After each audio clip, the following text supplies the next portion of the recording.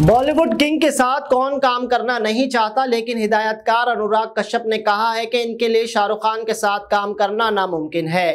एक इंटरव्यू के दौरान मुनफरद तर्ज की फ़िल्में बनाने के लिए मारूफ हिदायतकार ने बताया है कि इनके लिए क्यों शाहरुख खान के साथ फ़िल्म बनाना मुमकिन नहीं है। इन्होंने वजह बताते हुए कहा कि मदा शाहरुख खान या किसी बड़े सुपरस्टार को चमक धमक वाले और दिलकश किरदार में देखना पसंद करते हैं।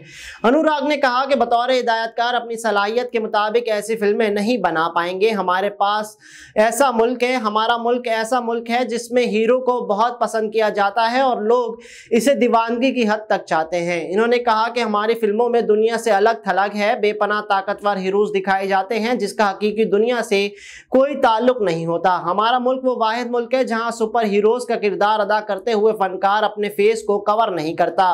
शाहरुख खान के हवाले से गुफ्तु करते हुए इन्होंने कहा कि आजकल सोशल मीडिया का दौर है और बड़े स्टार्स का फ़ैन बेस भी बहुत ज़्यादा बड़ा है और जो इन्हें बार बार एक जैसे किरदार में देखना ही चाहता है। इन्होंने कहा कि अदाकार भी फ़िल्म बीनों की पसंद का ख्याल रखते हैं और वही किरदार अदा करते हैं जो इनके मदा चाहते हैं। शाहरुख खान का एक अलग ही करिश्मा है, वो ऐसी फ़िल्में नहीं बनाना चाहेंगे जो मदाहों को अपील न करें।